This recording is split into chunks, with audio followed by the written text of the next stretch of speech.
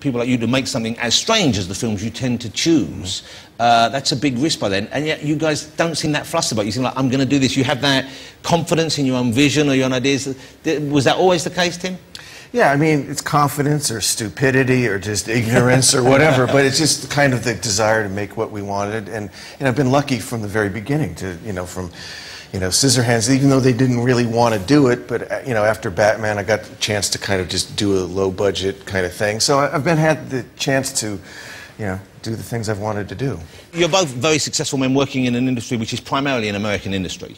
So, and yet you both choose to live elsewhere. You, you live over here, uh, more or less full time, as far as I know. And you live mainly in France, is that right, Johnny? Yeah, in France, but also just, you know, it's a pretty transient existence. Why, uh, why is your main base in France then? Why did you choose France and not England? What, what France has done for me, really, is like, you know, at least living in Europe has given me uh, uh the opportunity for real uh, simplicity as far as, as far as, you know, raising a family, being a dad.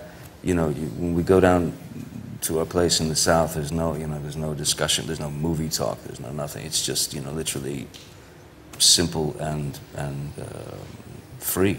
I guess in Los Angeles, it's so much a kind of the, the industry dominates the whole town that even schools and even restaurants, when you go out, it's always there. Everywhere you go. I mean, everywhere you go. And you like you like a glass of wine occasionally, don't you, Johnny? I don't mind it. Okay. I don't mind uh, and you have your own uh, your own vineyard, is that right? I don't. I You don't. don't? You know, they, the French won't allow it. I thought you had a vineyard. They don't want me to have a vineyard. Okay, and this is because you just you, you wouldn't be able to grow it. Uh, they just want you to keep drinking their stuff. I'd probably never leave. Yeah, yeah. Uh, do you guys uh, hang out together or see each other much when you're not working together? I mean, we've talked about, about your, your home life. Uh, you're here uh, in the UK now. You're living with Helen, as you said, Helen Bonham Carter, and you have uh, two children. Yes. Beautiful children. Uh, do you guys sort of go see each other much? Do you hang out? Do you socialise? Do you, do you bond? Do you go drinking, bowling? Do you go fishing? Do you do any, any shopping? I forgot ice dancing and Yeah. Ice dancing. synchronized swimming. Synchronized swimming.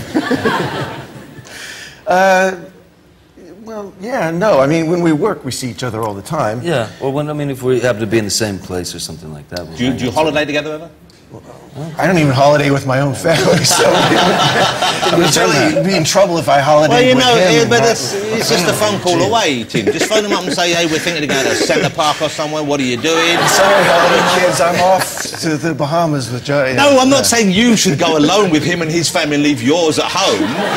I'm saying both groups of family book, you'd probably get a better rate and go and stay somewhere together. Um, but I imagine it would be kind of like, uh, not, not like working, but it would be a continuation of, of work if you were away together. You would find yourself talking about those kind of things. Well, we'd probably develop like strange things like, you know, like Martin Landau's Hot Tub. Oh, yeah, things we- like that. yeah, TV we- shows. We've dreamed up TV shows. you Okay. Martin Landau, of course, worked with you both in, in the Ed Wood movie. Yeah. Uh, what, what was the idea for the Hot We'll Dog just TV have show? a, Like a a talk talk, show. show. You Chat might want to do it, but with, in a hot tub. Wherever the guest comes in, Guest comes in the hot tub. naked in the hot tub. Yeah. Well, I'm up for it. uh, so, when you uh, sit down together, or when you pitch on it to Johnny, do you see pretty much eye to eye? Because it's unusual that uh, a couple who've worked together on so many films are still friendly, are still prepared to work together. I mean, most, you know, most directors I know eventually they hit a wall with their, with their leading actors and vice versa.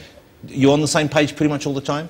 Yeah, I mean, oddly, like you know, like even when it comes down to you know script notes and stuff like that, if we'll sit down and talk about the character or talk about a scene and uh, compare script notes, and there, there have been times when, when they've been like identical, you know, or, or, or the notes on the page, um, and then the approach to the character, like with the Mad Hatter, for example, I had this weird little uh, watercolor that I'd done of what I thought he should look like, and then I brought it to Tim, and, and Tim had his drawings, and it was like they they were very very close, you know. So, and how, and how is Tim as a director? How communicative is he as a director? Because I'm led to believe that you're not the most verbal director when it comes to giving notes and advice and guidance on, on set. Yeah, he isn't, but I mean at the same time, he knows exactly what he wants, and there's a there's an incredible shorthand that somehow developed or actually happened right away on Edward Scissorhands, where it's it could literally be, you know, he could turn his head that way or kind of, you know, do something with his hands, and you go, oh yeah, yeah, I get it. You know what he meant. I know, I know what he So wants. almost like the way uh, very close family members communicate or twins, you kind of know what each other say. It must be kind of frustrating for people who are left out. Do they pretend they know what you want and then get it tragically wrong sometimes? There was lots of recently where people just they, we just heard you guys talking. We didn't know what you guys were talking about for half an hour. You know, it was Yeah, like Grip, Grip came up to me and said that. He said, I just listened to you and Tim speak, have this conversation. He says, I have no idea what you were talking about. that's why it takes two of us to go on a talk show because maybe one sentence will come out. Together, we'll get get some sense out of it. Uh, I read uh, a couple of people who work with you. I guess they're the producer behind the scene. Uh, that they believe that uh, the characters you play on screen are kind of Tim on screen. You're like his alter ego on screen, and, and you don't see it that way. Is that right?